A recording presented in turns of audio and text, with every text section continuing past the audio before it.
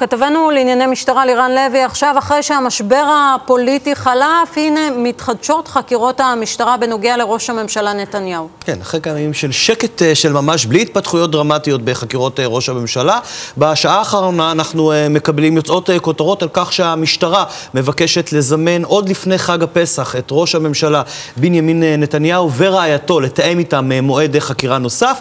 זה, זה שרוצים לתאם, לתאם מועד חקירה נוסף, ובסדר גמור, זכותם מלאה, זה בסדר. הבעיה היא, למה זה מודלף? הנה, עוד פעם אנחנו רואים משהו שמודלף, ואתה יודע, תמיד המפכ"ל אומר, עורכי דין מדליפים. אני לא בטוח שלעורך הדין של ראש הממשלה נתניהו יש אינטרס להדליף, וזה רק מראה איך פתאום סיימנו. נושא הבחירות ירד לכאורה מהפרק, וישר יוצאת היום כותרת שקשורה לחקירות ראש הממשלה. זה יכול ככה לסרטט לך כן, מה אנחנו כן, רואים פה. כן, זה טיימינג די מדהים. מושלם. נגמר המשבר הפוליטי, פתאום החקירות מתחדשות בתקשורת. איך זה קורה?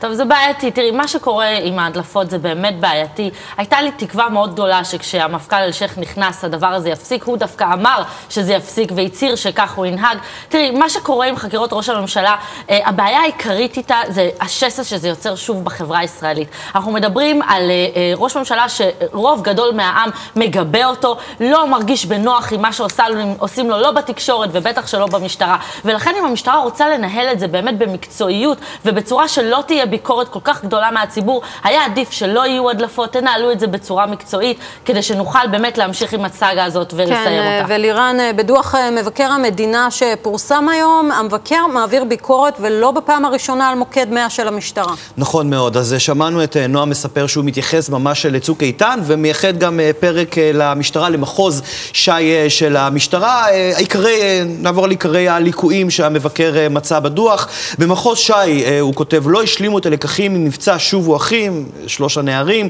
שיפור התפקוד במוקד 100 לא אה, קרה כמו שנדרש במסקנות של החקירה. במרכז השליטה ישנם שוטרים, אה, הוא טוען המבקר, שלא קיבלו את ההכשרה הנדרשת לאותו, לאותה גזרה ספציפית. פקודת הארגון של מחוז שי, הנהלים של מחוז שי לא עודכנו במשך זמן רב מאוד בניגוד להוראות המשטרה.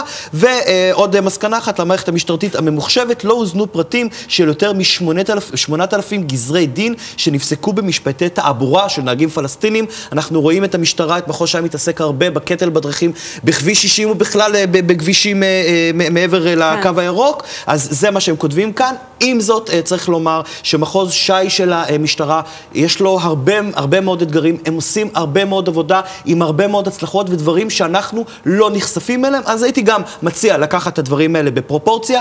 הרבה מאוד משימות יש להם כאמור במחוז שי, ומהמשטרה מבקשים למסור בתגובה במסגרת תהליכים ארגוניים שהתחילו עוד ב-2016, בוצעו ועוד צפויים שינויים ארגוניים משמעותיים במחוז, בהם הקמת שתי תחנות חדשות ותוספת תקנים וכוח אדם.